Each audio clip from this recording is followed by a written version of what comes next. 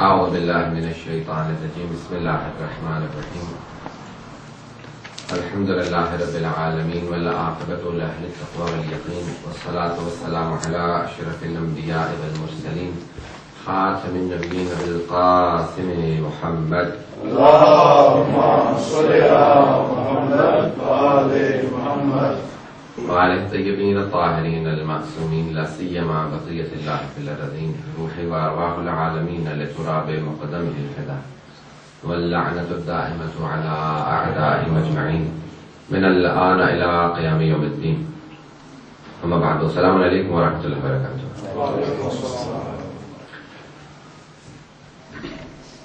If you look at the Holy Quran and the traditions of the Holy Prophet and the salam, they have the best definition on Islam and they have defined what Islam really is. And Awal Islam says that Islam is practices, beliefs, and surety in heart. Without these things, a person cannot truly become a Muslim. You need to understand what Islam is. The Holy Quran, when describing the faith, it says to the the Arabian, the pagan Arabs who used to come to the Holy Prophet and says, they used to say that, Amanna, we believe, we have Iman, we are mu'mineen now. The Quran says, وَلَمَّا يَدْخُلِ الْإِيمَانُ فِي قُلُوبِكُمْ Is Iman or faith, true Iman has not entered your hearts. Manqulu aslamna. Just say that we have become Muslims. We're not mu'mineen yet. We're just Muslims. Iman is the highest stage. Islam is the lowest stage. In, the sense that a person who says, I'm a Muslim, he only believes by words. And a mu'min, one who has deep understanding and he practices as well. Okay? We all need to become mu'mineen. Also the word mu'min applies to the people who believe in the, the benayat of I'm Ahlul Bayt the basic outline, if we all know, and the mothers inshallah that, that are listening, they must emphasize that the, the children attend the madrasas where they can learn not only just how to read Quran, but also they can learn the principles of faith, you know, usul and furu practices. You all know what usul are, yes everyone? What are the five principles of faith? They are Tawheed, the oneness of God, Adl, the justice of God, Nabuwat, the prophethood, Imamat, the divine leadership, and Qiyamat. Yes sir? Yes? You need to understand each one of these properly. And then there are ten practices, you know. In the Hajj, the Zakat, the Khums, the Jihad, Amr al-Ma'ruf, Nahi al-Munkar, Tawalla and Tabarra.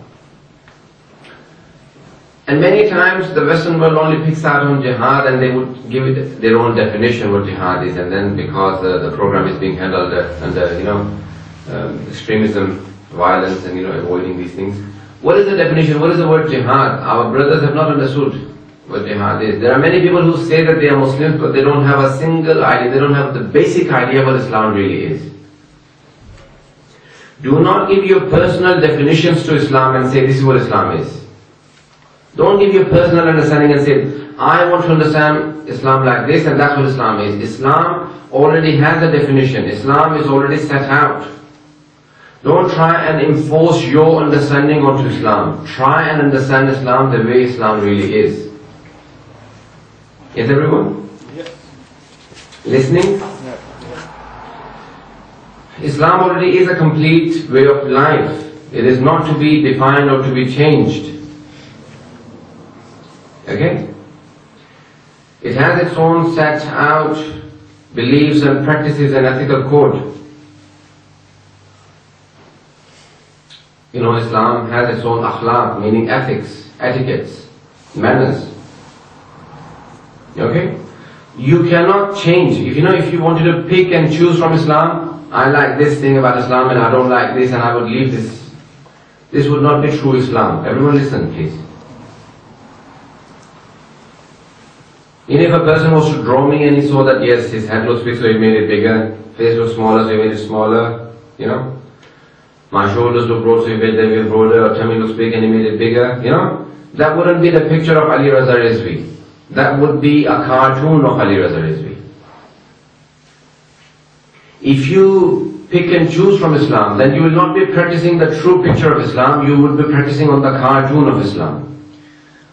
Please do not make cartoons of Islam, you know, don't pick and choose. I like this and I will just only practice this. I don't like that. I'm going to leave that out. That's not true Islam. Don't pick and choose the things that you like.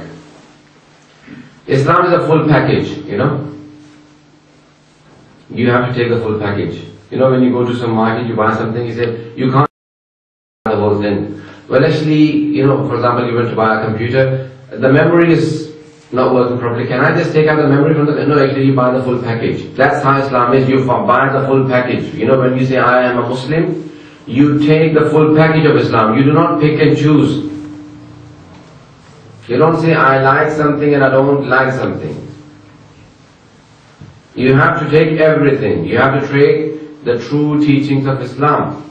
Okay? MashaAllah. Now, Tawheed itself, Adl, Nabuwwat, Imam these are the foundations of religion. If the foundation is strong, then the, the tree will be strong. If the foundation is not strong, then you will not have a strong branch. You will not have a strong tree. Many times people say, well, why do we not hear so much about Usuluddin? We do hear about Usuluddin, but what is important is the foundation is always, you know, when you build a very tall building, you have a strong, big foundation, but the foundation is not as high as the building. If the building is 110 feet high, then the foundation is not 110 feet in the ground. It would be 10, 20 feet, that's it. Foundation has to be strong for the strong building, but it doesn't have to be as long as the building. Therefore, you should have a strong foundation so you can build a strong building on it. But the building is important. Today, the biggest tragedy with the Muslims in Islam is that you would relate Islam with terrorists and people who have nothing to do with Islam. The Taliban and the terrorists. What percentage of the Muslims are the terrorists or the Taliban? 10%? Less. No, less. 5%? Less. 1%? Less. A lot less. There are more than 1.5 billion Muslims around the world. 1.5 billion. You know, 1% of 1.5 billion will be 150 million or 15 million. 15 million Taliban do you think we have? No. Not even 1 million. May Allah destroy them all. Say Ameen.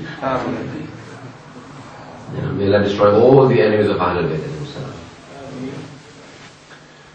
You see, you cannot define a religion by some exceptions, you know. You do not take the exception and say this is what this religion is. You don't take a minority of a minority and say this is what the Muslims are. That's not how you define Islam. You have to take what general Muslims are to, to say what the Muslims are. Not just an exception or a minority of a minority.